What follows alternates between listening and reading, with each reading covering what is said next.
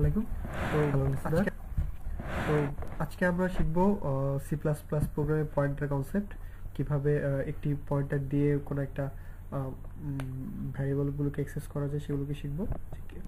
Basically আসলে আমরা শিখতে যাচ্ছি এটা how to learn values are stored in the computer এবং কীভাবে সেই ভ্যালুগুলোকে অ্যাক্সেস করা যায় ইউজিং পয়েন্টার দিয়ে। ঠিক আছে?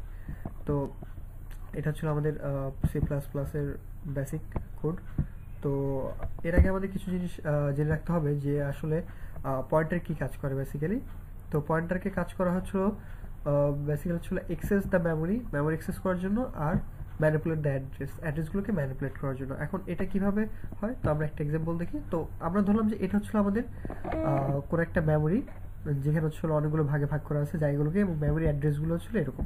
জাস্ট নর্মাল থিঙ্কে আমরা ধরে নিলাম যে মেমোরি অ্যাড্রেসগুলো এরকমভাবে আছে। তো যখন আমরা কোন একটি প্রোগ্রামে কোন একটি ভ্যারিয়েবলগুলোকে ডিক্লেয়ার করি লাইক একটা ভ্যারিয়েবলগুলোকে আমি এখানে ডিক্লেয়ার করলাম ভ্যার নামে ভিএআর তো তখন সেই কম্পাইলার কি কাজ করে? মেমোরিতে গিয়ে কোনো একটা অ্যাড্রেসে নামকে সে ভিএআর করে দেয়। তো ফার্স্ট অফ অল সে কি কাজ করবে?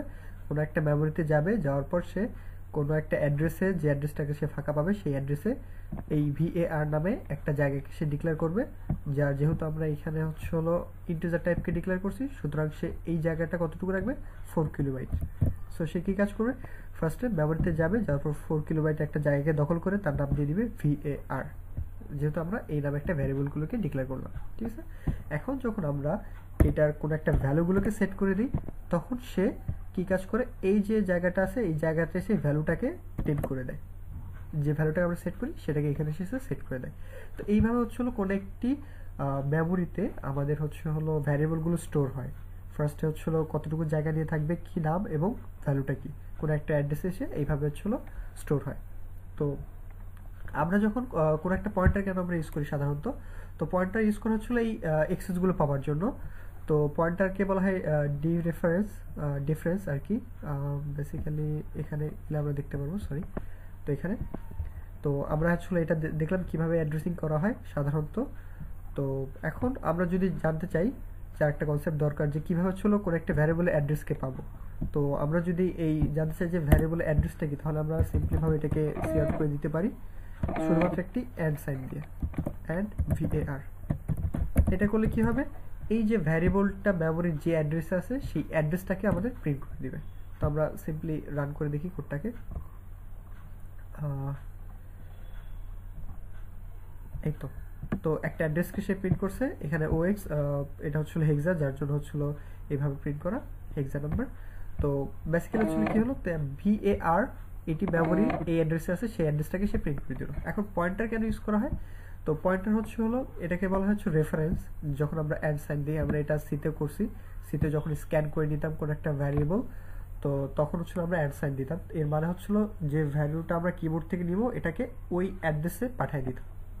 এটা হচ্ছিল রেফারেন্স আর আমরা যখন পয়েন্টার ইউজ করি বেসিক্যালি তো পয়েন্টারকে বলা হয় হচ্ছে হলো ডিফারেন্স এটা আর কি ডিফারেন্স অপারেটর তো একটা দিয়ে হচ্ছিল এটাকে রেফারেন্স করা হয়, এটা দিয়ে হচ্ছে ডিফারেন্স করা হয়।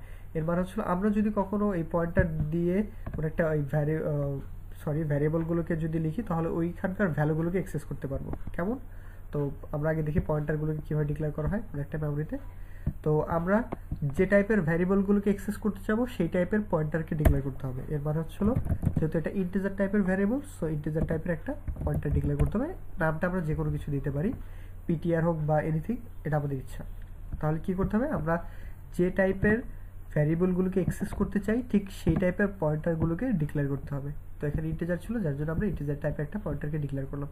তো এইভাবে ডিক্লেয়ার না করে সাধারণত এইভাবে করা যায়, দিয়ে পিটি সো এইভাবে করা যেতে পারে। সো যে কোনো একটা ইউজ করলে কোনো প্রবলেম নেই। তো ডিক্লেয়ার করলাম। এখন আমরা যদি এক্সেস করতে চাই লাইক হচ্ছিল এটা দেখলাম যে কীভাবে ডিক্লেয়ার করতে হয়। এটা হচ্ছিল রেফারেন্স একটা ডিফারেন্স তো, এখানে একটা সিম্পল প্রোগ্রাম দেওয়া আছে। আমরা জাস্ট এই প্রোগ্রামটাই এখানে করব, যে কীভাবে হচ্ছিল ভ্যালুগুলোকে এক্সেস করা যেতে পারে, ঠিক আছে? আচ্ছা। তো প্রোগ্রামে আমরা এখন করি। এখন হচ্ছিল এই পয়েন্টারের মধ্যে আমরা এটার অ্যাড্রেসটাকে রেখে দেবো। তাহলে সি আউট করব এখন এটাকে। যদি এটাকে যদি আমরা প্রিন্ট করি, এটাকে আপাতত কমেন্ট আউট করে তাহলে কি কাজ করলাম? এই পয়েন্টারের মধ্যে এই যে ভ্যারিয়েবলটা ছিল, এর এর অ্যাড্রেসটাকে রেখে দিলাম। তাহলে এখন যদি এটাকে প্রিন্ট করি, তাহলে এটা কি প্রিন্ট করবে?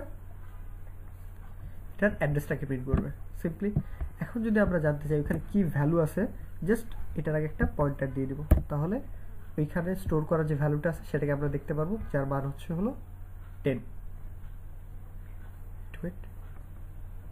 বেসিক্যালি টেন তাহলে পয়েন্টার কি কাজ করল? আমাদের হচ্ছে ফার্স্টে যে অ্যাড সাইড ছিল অ্যাড সাইড হচ্ছিল রেফারেন্স করে দিল কাকে? এই ভ্যারিয়েবলটার অ্যাড্রেসটাকে আর পয়েন্টার এসে কি কাজ করল? ওই অ্যাড্রেসের যে ভ্যালুটা আছে, সেটাকে সে প্রিন্ট করে দিল। তাহলে পয়েন্টার আমরা কেন ইউজ করব?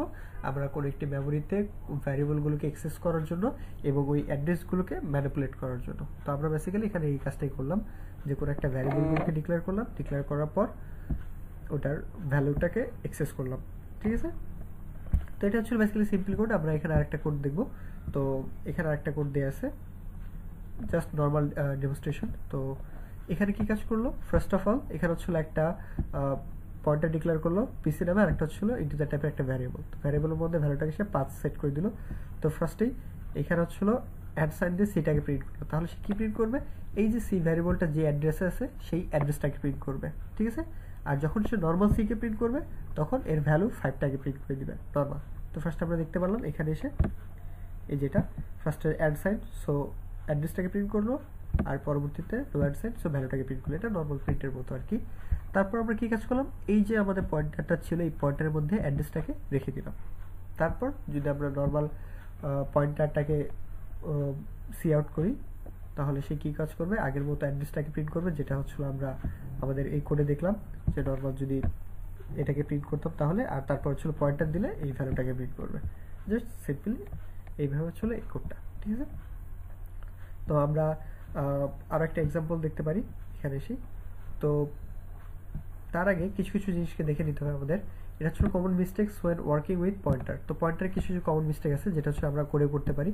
লাইক তো আমরা যখন করে একটা পয়েন্টারকে ডিক্লেয়ার করব, আমরা অবশ্যই এটাকে লিখতে পারব না যে কোডে এখানে এসে বলে দিই পিটিআর ইকাল টু ভিএআর এটা করতে পারব না। কেন করতে পারব না? কজ এটা হচ্ছে একটা ইন্টিজার টাইপের ভ্যারিয়েবল ডিক্লেয়ার করছি সরাসরি, আর এটা হচ্ছে পয়েন্টার টাইপের দুটো টাইপটা আলাদা। হোক ইন্টিজার বাট এটা হচ্ছে পয়েন্টার টাইপ এটা হচ্ছে নর্মাল ভ্যারিয়েবল টাইপ সো এই দুটো কখনো ইকুয়াল হতে পারবে না।